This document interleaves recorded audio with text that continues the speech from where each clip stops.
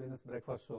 Global markets ప్రస్తుతం మిక్స్గా trade అవుతున్నాయి. ఎస్జీఎక్స్ నిఫ్టీ ఫ్లాట్గా ట్రేడ్ అవుతుంది. కేవలం రెండు పాయింట్ల లాభంతో ట్రేడ్ అవుతుంది. ఫైవ్ సెవెన్ సిక్స్ ఫైవ్ దగ్గర. మొత్తం మీద గ్లోబల్ క్యూస్ అయితే ఇక్కడ ప్రతికూల సంకేతాలు ఎక్కడ కనపడలేదు లాస్ట్ నైట్ యుఎస్ మార్కెట్స్ చాలా స్ట్రాంగ్గా క్లోజ్ అయ్యాయి. ఇన్ఫాక్ట్ ఎస్ఎన్పి ఫైవ్ హండ్రెడ్ కేవలం పది పాయింట్ల దూరంలో మాత్రమే ఉంది.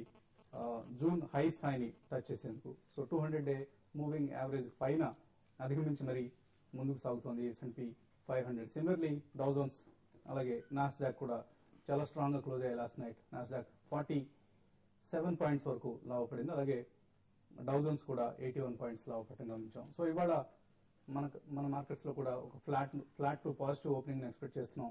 ఐటీ స్టాక్స్లో యాక్షన్ ఇవాళ మరింత ఉధృతంగా ఉండే అవకాశం కనిపిస్తుంది. అలాగే బ్యాంకింగ్ స్టాక్స్లో కూడా యాక్షన్ కొనసాగే అవకాశాలు ఉన్నాయి సో నిన్నటి భారీ ర్యాలీ అందరినీ ఆశ్చర్యపరిచింది.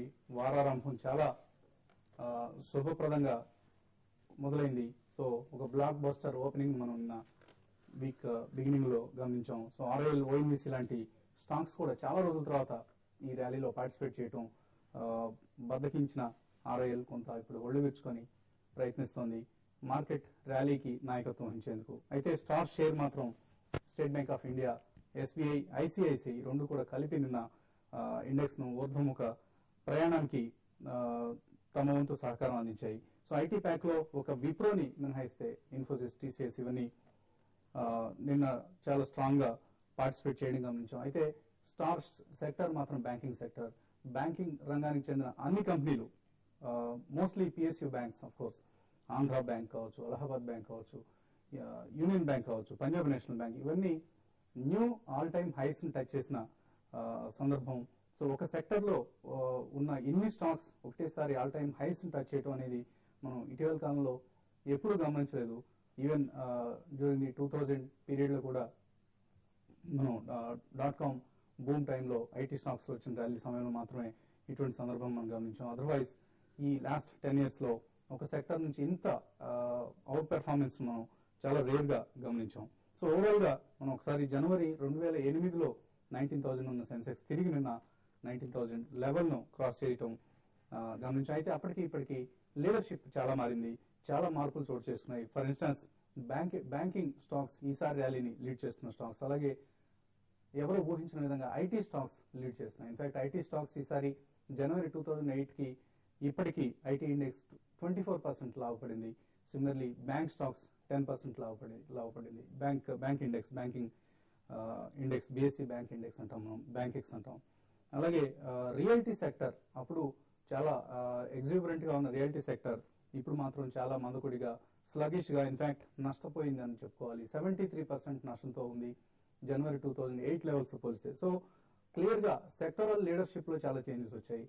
ఈసారి బ్యాంకింగ్ ఐటీలు లీడ్ చేస్తున్నాయి ఈ- ఈ ర్యాలీని రియల్టీ లాంటి సెక్టర్స్ లాగర్స్గా ఉన్నాయి. సో బహుశా రాబోయే రోజుల్లో బహుశా కొంత ఈ సెక్టర్స్ కూడా పార్టిసిపేట్ చేస్తాయి అని మనం ఊహించాల్సి ఊహించవచ్చు. సో ఒక వర్టికల్ మూవ్ నిన్న గమనించాం. వర్టికల్ మూవ్స్ ఎప్పుడు కూడా కొంత ప్రమాదకరం కొద్దిగా అప్రమత్తంగా ఉండాల్సిన అవసరం ఉంటుంది. అయితే గాభరపడాల్సిన అవసరం ప్రమాదం కానీ ఏది లేదని చెప్పాలి. అప్పుడప్పుడు చిన్నపాటి కరెక్షన్స్తో మార్కెట్స్ ముందుకు సాగే అవకాశాలే ప్రస్తుతానికి ఎక్కువగా కనిపిస్తున్నాయి. సో ఈ ట్రెండ్స్ పై ప్రస్తుతం విశ్లేషణ అందించడానికి అనలిస్ట్ సుందర్ గారు అలాగే శేషు గారు సిద్ధంగా ఉన్నారు. సో సుందర్ గారు ఓవరాల్గా నిన్నటి అవుట్ పెర్ఫార్మెన్స్ మనం గ్లోబల్ మార్కెట్స్ నేను మరోసారి అవుట్ పెర్ఫార్మ్ చేసాం సెన్సెక్స్ నిఫ్టీలు న్యూ హైస్ టచ్ చేశాయి. ఈ ర్యాలీ సస్టైన్ అవుతుందని అనుకుంటున్నారు. నా ఉద్దేశం టెక్నికల్గా ఇప్పటివరకు పెద్ద ప్రమాద స్థాయి ఏం కనిపించట్లేదు. ఇవాళ మార్కెట్ కొంచెం కన్సాలిడేషన్లో ఉన్న మటుకు ఈ రెండు రోజుల్లో నా ఉద్దేశం ఫైవ్ థౌసండ్ ఎయిట్ హండ్రెడ్ వరకు టెస్ట్ చేసే అవకాశం ఉంది. ఆర్బీఐ క్రెడిట్ పాలసీ వచ్చేటప్పుడు five thousand two hundred eight hundred దగ్గర ఒక రెండు మూడు రోజులు కన్సాలిడేషన్ వచ్చే అవకాశం కనిపిస్తుంది. సో షార్ట్ టర్మ్ కనుక మరింత అప్ ట్రెండ్ వెళ్ళాలంటే సిక్స్ థౌసండ్ వచ్చారంటే కనుక ఫైవ్ థౌసండ్ ఎయిట్ హండ్రెడ్ పైన రెండు సెషన్స్ క్లోజ్ అవుతాయి కనుక ఫర్దర్ లాంగ్ క్వశ్చన్ తీసుకొని సిక్స్ థౌసండ్ ఎగ్జిట్ అవ్వచ్చు. అలాగే ఆర్బీఐ క్రెడిట్ పాలసీలు ఎంత కొంచెం నెగిటివ్ వస్తే మటుకు అలాగే ఫైవ్ థౌసండ్ ఎయిట్ హండ్రెడ్ కింద క్లోజ్ అవుతుంది ఒక మైనర్ కాషియస్ ఎక్స్పెక్ట్ చేయొచ్చు. ఇక ఇంట్రాడే వస్తే కనుక five seven six zero seventy మధ్య కొంచెం కన్సాలిడేషన్ వచ్చే అవకాశం ఉంది కాబట్టి సెవెంటీ ఫైవ్ పైన కనుక ఏమాత్రం నిలబడితే కనుక లాంగ్ క్వశ్చన్ తీసుకొని ఫైవ్ థౌసండ్ ఎయిట్ హండ్రెడ్ దగ్గర ఎగ్జిట్ అవ్వండి.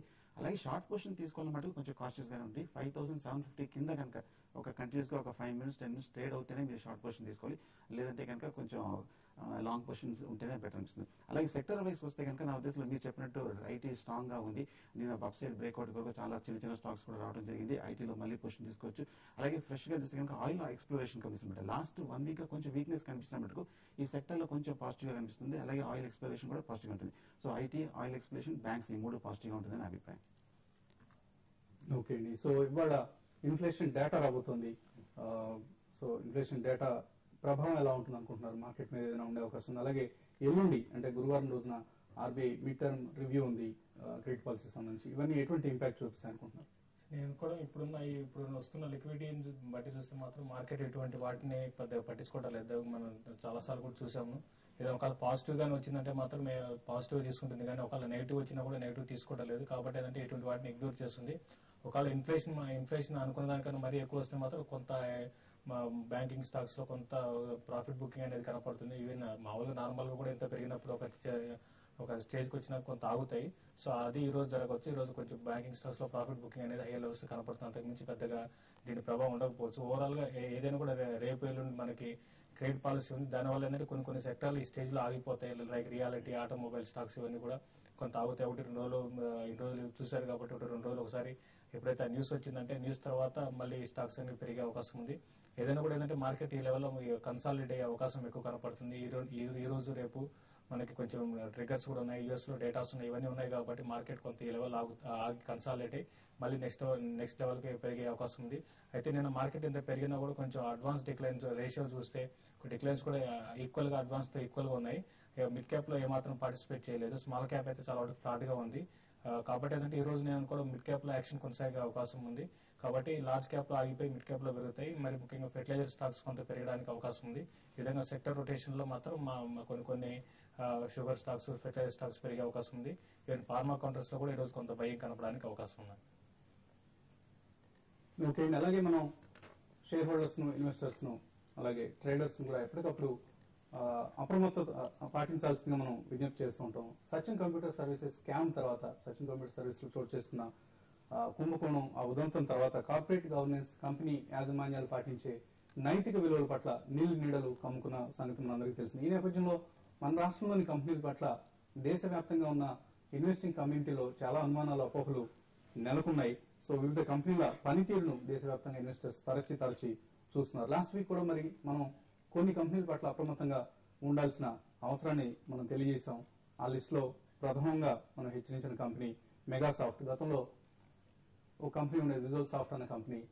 సాఫ్ట్వేర్ ఉత్పత్తులు తయారు చేస్తా ఉంటే ఇన్వెస్టర్ల నుంచి ఐపీఓ ద్వారా డబ్బులు కలెక్ట్ చేశారు. టెన్ ప్లస్ టెన్ అని గుర్తు నాకు ఇరవై రూపాయలకు షేర్లను కేటాయించారు. సో తర్వాత ప్రొడక్ట్ డెవలప్మెంట్లో మేము విఫలమయ్యామంటూ సాఫ్ట్వేర్ సర్వీసెస్ను ప్రారంభిస్తున్నామంటూ సర్వీసెస్లోకి డైవర్సిఫై కావడం జరిగింది. తర్వాత అది కూడా చేయలేకపోతున్నామంటూ చేతులెత్తేసి కంపెనీని మరో కంపెనీకి అమ్మివేసి కంపెనీని అమ్మకానికి పెట్టి ఓడరేవు వ్యాపారంలో సొమ్ము వెతుక్కునే దిశగా వెళ్ళిపోయారు విజువల్ సాఫ్ట్ ఒకప్పటి ప్రమోటర్లు.